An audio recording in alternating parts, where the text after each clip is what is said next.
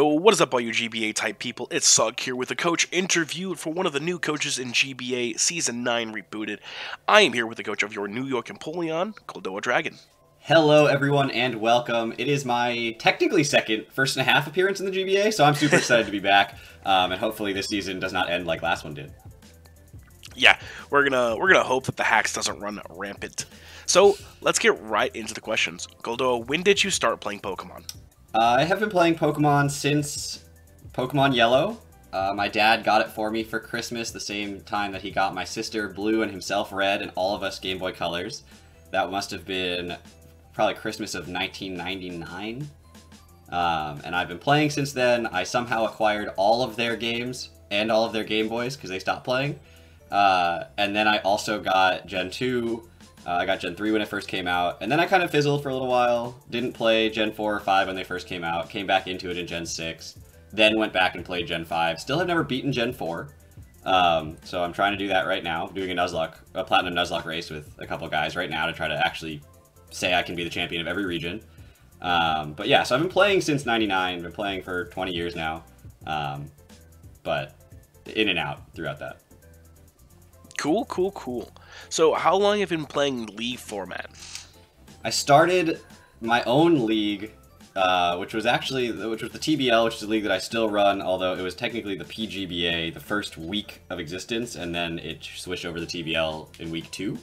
Uh, I started that, I think, the end of 2017.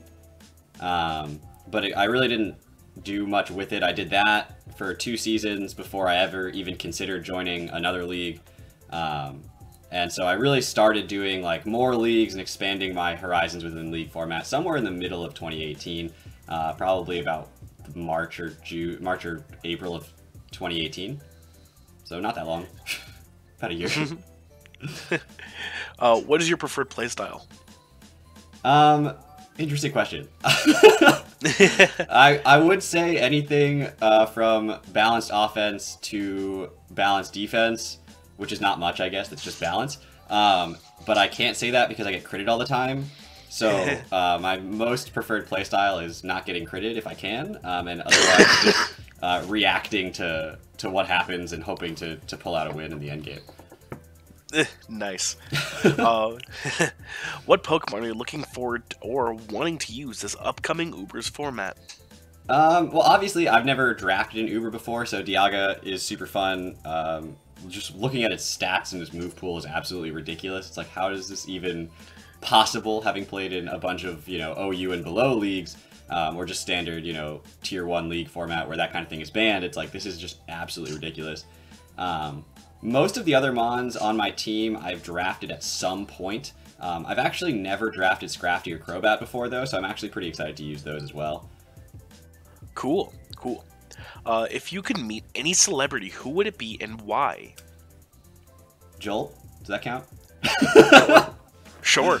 Uh, honestly, this question's a little bit tougher. I there's I've had some funny stories of either myself or people I know meeting celebrities. Um, Amanda being like, "Yeah, this time that like Bill Clinton just showed up at my house one time." I was like, "Wait, what?" Um, so that kind of thing. I met uh, Barack Obama's brother-in-law, Michelle Obama's brother, once, uh, and he told me that I would be a good basketball player. I was an eighth grader. I'm the same height, where I was uh, shorter than I am now, and I'm only 5'10 now. So I don't think he knew what he was talking about, but he was the basketball coach at Princeton. Um, so Obama would probably be a cool one to actually meet and get a chance to talk to. He's such a good speaker. It's honestly like just be I just like listening to him speak, you know. Cool. uh, what is the most heat that you've ever brought and had it work? Oh, it has to have worked. Okay. Had to have worked. Okay, I, have been thinking about this question. I actually posed it to the TBL coach chat and tried to get some responses of things that they remembered that I'd done before. Uh, and so I think the winner is going to be HP Ice Gigalith um, which I brought against Melon in week eight of the GBA D League as a uh, Zygarde bait.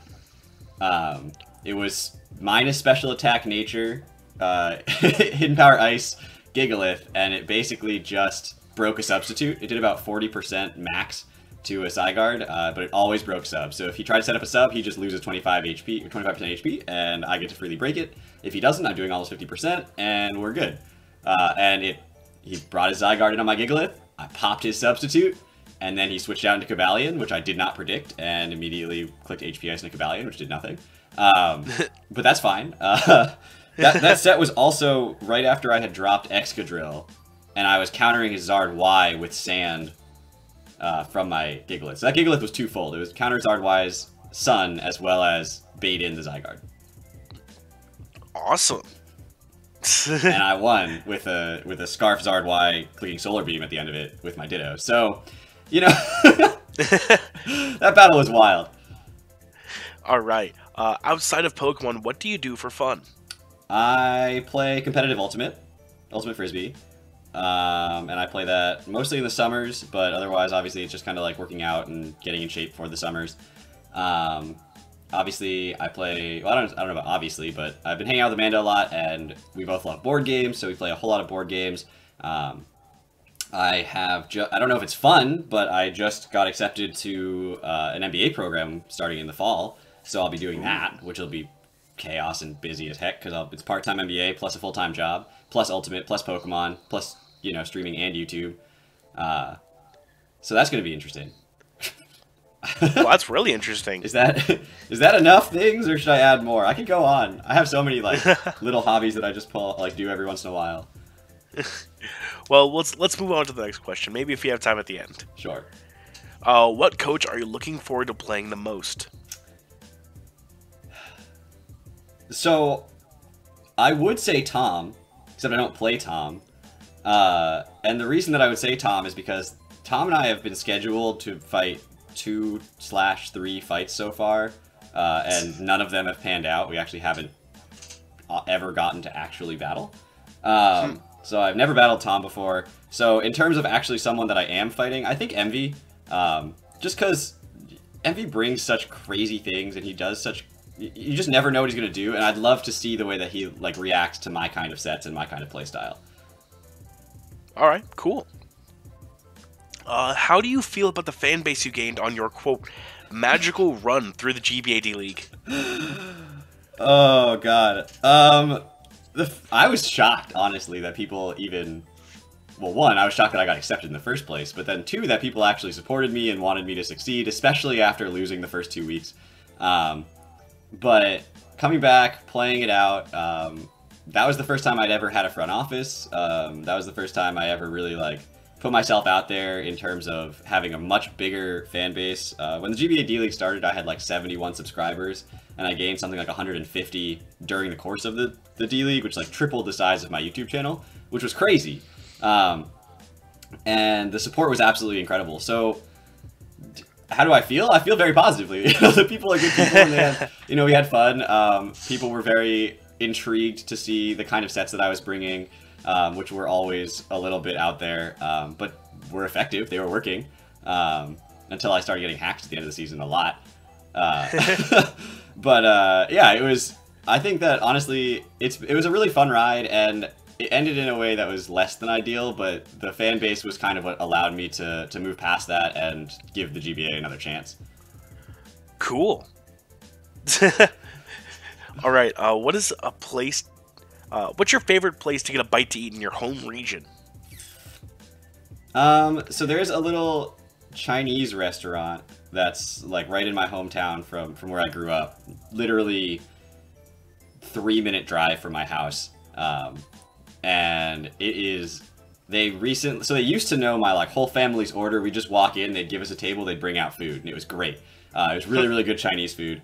Um, they recently started doing sushi as well, so they've opened up a sushi bar there. Um, they've expanded the little little shop. It's still like a one-off, like not a chain or anything like that. It's just a little place. Um, it's called China Cuisine, and it's like on Main Street. It's if you ever end up in Northern Mass and you look it up. Um, but it's yeah, it was absolutely delicious food, and it's fun to have someone who just kind of knows you and just like is able to be like, oh yes, this is like your family's order, and like this is what we want, and it was. I mean, they gave us free food all the time, and it was it was so good. It was a nice little place. That's awesome. And the last question for the base round: uh, What's your Twitch? Twitch.tv slash Goldoa Dragon. Aw, yeah. Did I do it? Did all I answer right. it correctly? Yes, sir, Ten indeed. Ten points for Gryffindor. Yes! Except I'm a Slytherin, but that's fine. Oof, yikes. Ravenclaw myself. Alright, so now let's go into the speed round. So these are going to be the first things that pop into your head with the answers. So, uh, do you understand that? Sure, eyes are closed. Sure. Cool. uh, what Pokemon is the lowest base defense stat? Ch- Chansey, Yep. What Pokemon have you had the most success with? Ditto, Did you get sniped in the draft? Is yes, what mon? Alolan Muk, Are you uh, you're on any game show you want? Which show are you on? Whammy. How many quarts are in a gallon? Four? And blue or pink Gastrodon? Blue.